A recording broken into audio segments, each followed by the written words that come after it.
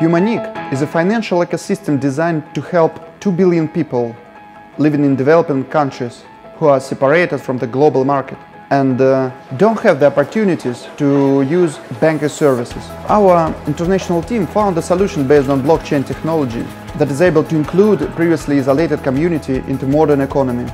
During the project preparation, we reached a large number of experts, including Vitaly Buterin. His platform Ethereum was chosen for prototype of our project.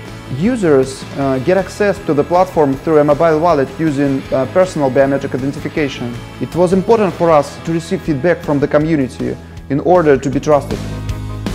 The blockchain community around the world has embraced the idea of banking 4.0 for developing countries with great enthusiasm. And what about the inhabitants of these countries, you may ask? Recently, Humaniq have visited India to conduct a social experiment.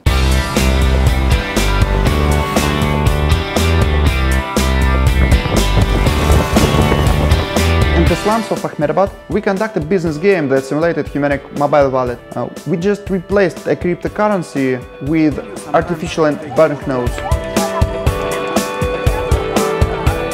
invited locals to take a part in the game.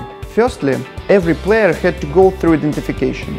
The papers containing the letters of the English alphabet served as a passport. Humaniq Mobile Wallet used the identification solving the problem of illiteracy or the lacking of documents. Each player was given a passport together with 10 Humaniq banknotes.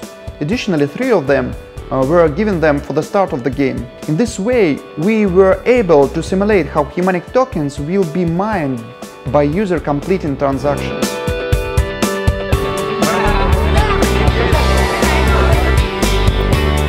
The game participant could make any kind of transactions between themselves, exchanging basic services for coins. For their first transactions, the seller and the buyer received additional coins as rewards. Furthermore, extra rewards were given if the participants were performing specific tasks assigned by the game moderators. The winner was the one who had the maximum amount of the banknotes by the end of the game. The game lasted uh, for two hours. In order to create more engagement, we also set symbolic price for the first uh, three winners, 350 rupees, uh, it's about $6. It was perhaps the most exciting performance that I have seen. In addition, the participants, also random spectators crowded, friends and relatives started playing as well, advising the players how to better manage their finance. This spontaneous and passionate movement wasn't easily controlled. Our uh, Indian assistant, uh, the moderators of the game, did a great job following the rules and recording transactions. Or without them, we wouldn't have made it. Well, it's time to sum up. Uh, winner number one was a person who gathered other 10 participants and collected with them 263 artificial banknotes. My friends know me well. I'm the oldest, I'm religious, and I have a job. My brother was the first to give me all his money. Then I attracted others. We agreed that we were going to split the prize among us. Thank you very much.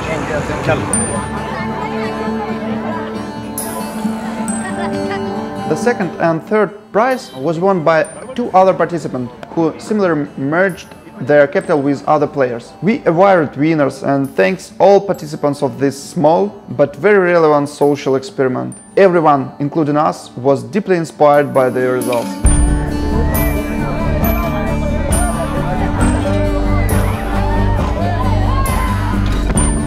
We saw that even in the poorest area, there are powerful social networks that can be used and developed. There's people don't have Facebook or Twitter, but they have each other. They build strong bonds to overcome together the many hardships that life unfortunately gives us. Most of things are achievable together as a unit. Humaniq wants to connect their community, allowing them to join their forces and be part of the global economy.